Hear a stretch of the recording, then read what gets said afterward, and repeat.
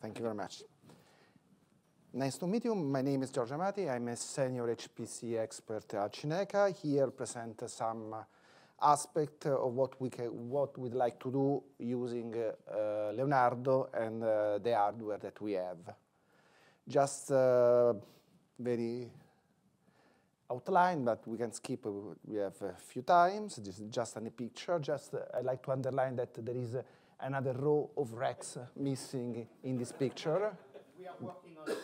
The capi no, no, the, there is them, the uh, simple in the photo, uh, I'm not able to put, uh, but we have uh, 10 racks, uh, line of racks. And uh, of all this number, this is the description of the machine, I'd like to underline to this point that I/O ask for 12 racks, only I/O, and all this stuff, because it's more than 150 racks, this is about 300 tons of hardware. This explains how R can be uh, to build a machine big uh, in this way. There's uh, many issues that I had. This is a picture of all the hardware that has been used for the uh, file system that we'll describe in the following. This is the final, at least uh, final at uh, yesterday. I don't know if they change, but essentially we have a different file system and we have a scratch file system that will be split in two, one for the fast using uh, um, solid state uh, drive, and the other for the, the large. And uh, we have more or less 100 uh, petabyte using hard disk and 5 petabyte using SSD, much faster. Uh, will be Lustre based using RAID 6, and uh, here we have information of other server used for metadata. Here we have some spoiler about uh, figure about 500 result. We don't, the, uh, rank, the exact ranking we'll know uh, in a few days, but we have uh, uh, this figure that uh, are considered light, okay, are considered quite good. I'd like to underline this figure. So for standard easy write and easy read, we are much more than one terabyte second. I explain why this number could be interesting. Well, all this hardware, uh, what we want to use. Uh, I'm involved in uh, geophysical simulation in what's called solid earth. In solid earth, so volcanoes, um, tsunami caused by earthquake or uh, landslide, something like that.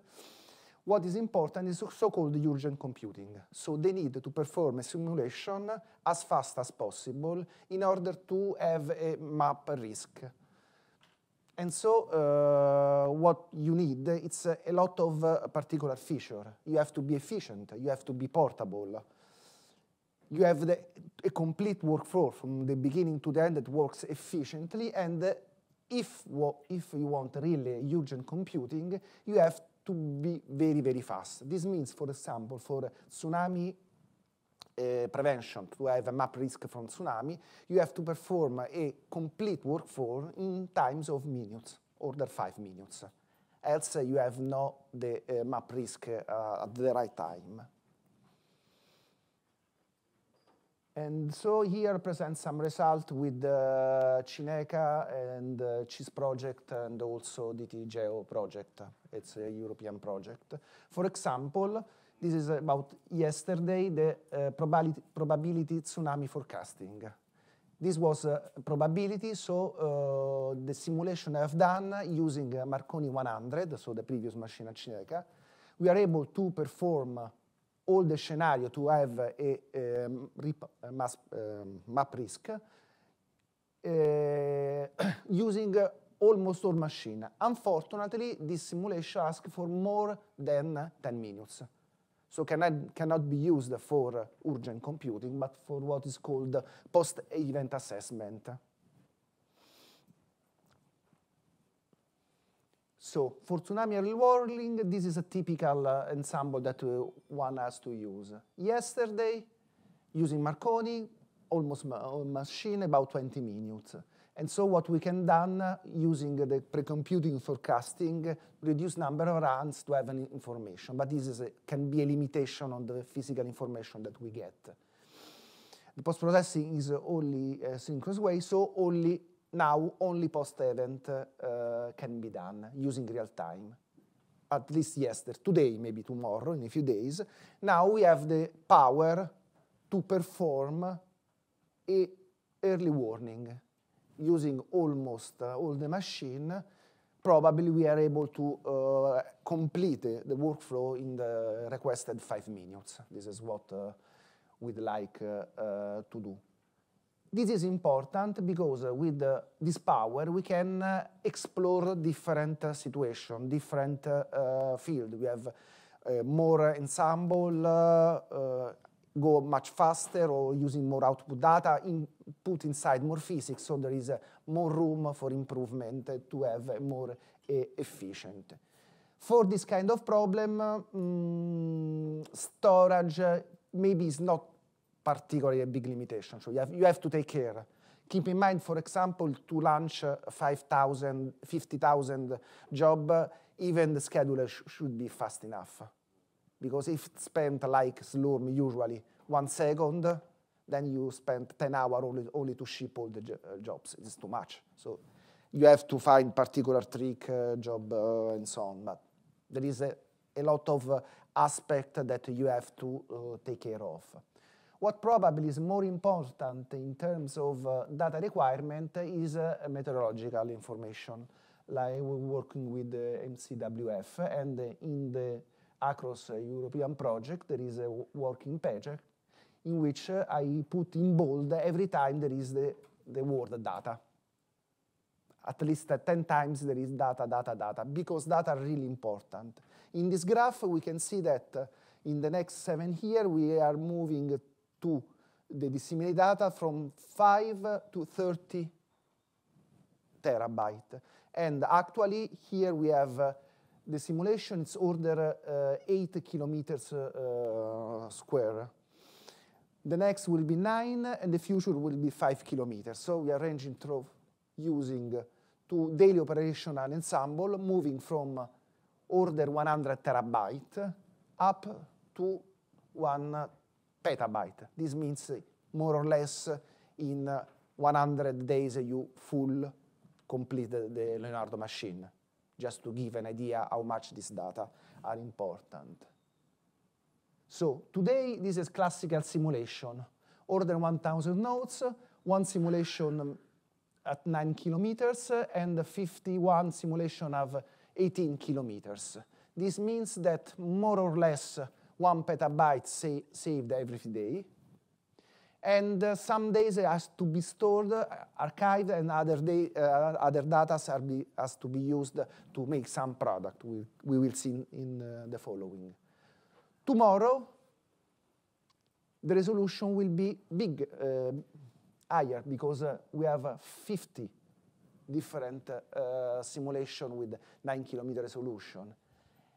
And this, we have an improvement in the request of the storage to manage. And uh, the future will be, according to different projects, to go up to four or even two kilometers resolution. This means that uh, the requirement will increase by a factor four or even 16. So the future will be quite hard. By definition, uh, the production workflow is not really an urgent computing because there is not an urgent. It's always urgent. You have to produce every day a lot of data. So maybe to define this particular uh, workflow as urgent is not really correct, but the result is, is the same. You have to product a lot of data. The workflow is from the numerical model, starting from the data, I produce the fields, the output. And all this data should be used to product the output that will be so-called product asked of different communities to have uh, information, methodology information of that part of Europe, uh, sub-region, and so on. So what uh, CWF produces is a sort of output for the different uh, um, nation of the consortium according to their needs. And so they start the dissemination and produce the information and send the product to the different member states and the customers. All this uh, uh, project has been done, oh, then you have to save a big part of the data, in about one hour. In the sense, it's the urgent computing. Simply, you have uh, every day is urgent. This is what the target we are looking for. If you remember correctly, uh, according to uh, IO 500, we are able to read and write more than one terabyte of data in a second.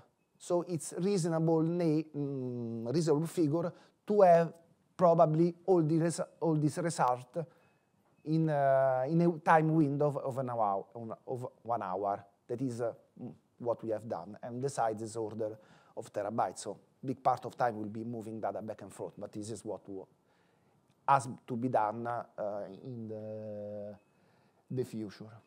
So acknowledgement, people from uh, Stefan and Manuela INGV, Emanuele from, Emanuele from MSWF, then people that help me from uh, DDN and also colleague from uh, Cineca. I think to be quite on time. So thank you very much. Everything is done also.